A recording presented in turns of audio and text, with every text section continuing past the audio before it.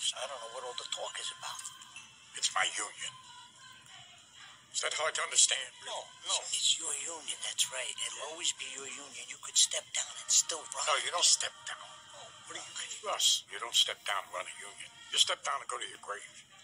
Well, listen, I still think, I can't help but think, I'm sorry, but is there, is there another reason or something? I mean, this is my union. What do you mean another reason?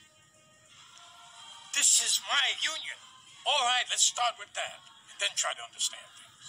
Listen, some some people, not me, but some people, they're a little concerned.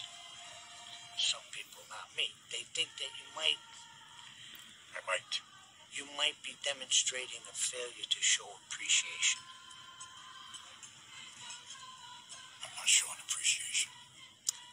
According to, you know, some people. I went to school for five fucking years. Yes, you did. Five fucking years. I didn't name one fucking name. You did the right thing. I did the right thing. The right thing. Sat there every day with that whining cocksucker from New Jersey, talking to me about his woes, his problems. And all I wanted to do was finish my ice cream in peace. This cocksucker shows up at a meeting 15 minutes late, wearing fucking shorts. Who wears shorts to meeting? Nobody. That's right. Nobody. I'm not showing appreciation. It's not me.